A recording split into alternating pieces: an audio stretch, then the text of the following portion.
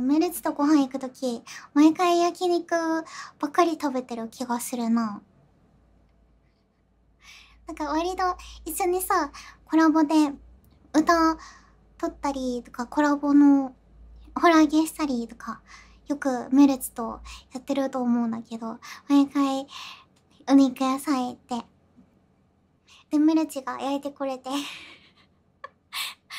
なんかすごい焼くのが上手で焼いてくれて、私のお皿に乗せてくれる。で、なんか、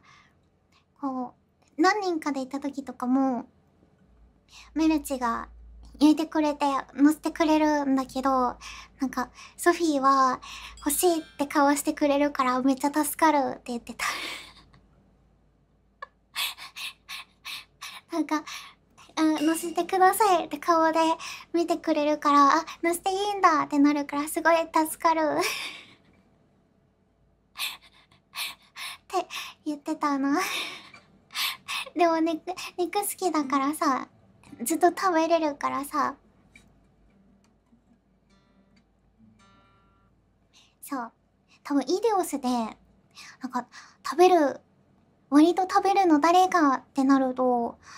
のんちゃんと私が結構食べる方なのかな？って思うんだ。多分なんかね、やっぱ女の子だけでこうご飯行くと割とあ、あ、こんくらいかなーみたいながあったりするけど、のんちゃんとご飯行くとめっちゃもうたらふくたらふくお腹いっぱい食べる そうなんだよ。のんちゃんと行くとマジでお腹いっぱいになるね。うんうんうん。え、どうだろう。逆にた食べないのっていうか好き嫌いが多いのがあかりだから、あんまりあかりはめっちゃ食べる方ではないのかもしれないかなのイメージがあるかも。うんうんうん。あ、そう、あとしーちゃんはだね、糖質制限をしてるから、そう。なんか、これは食べないっていうのが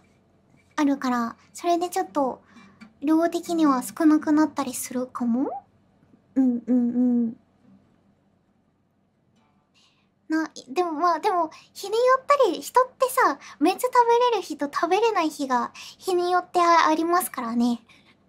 もしかしたらみんな同じくらいたくさん食べれるのかもしれないし、みんな同じくらい食べないかもしれない。うんうんうん。